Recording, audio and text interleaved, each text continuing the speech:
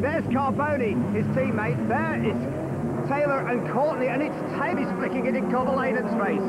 Oh, and behind him, I think there's an even bigger problem with that pool of water. Ronnie Bremer, that is a big, big accident right off on one of those sand patches at the bottom of Cascade. I thought he was going to catch it out. It's just like hitting a patch of oil there, and he's turned in. The rear's gone on the car. He's oversteered off the circuit into the barrier. Very big shunt. I hope he's all right there.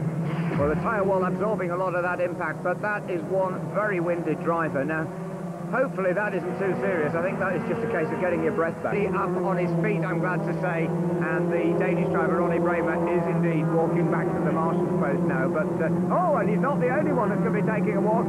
Complete 360-degree spin, nicely caught there by the number 8 car, but there's cars going off all over. This time it's Gavin Smith, Billy Asaro, and that is Adam Carroll, and he has just hit Ronnie Bremer's car. That was a huge accident and an expensive one. The two Sweeney Racing cars, they're both the drivers are getting out of the green and white cars, but that is two out of the team's three cars written off in a matter of seconds.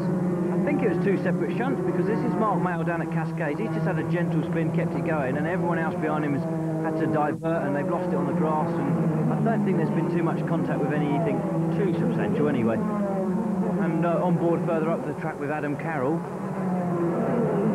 turns in, there's that patch of water again. The car gets a big wobble on, oversteer, oversteer, oversteer, on the grass. And you can just see uh, Bremer's car coming into view. And for Adam Carroll, that was a big shunt because he's going over 100 mile an hour as he's made contact with that stationary car.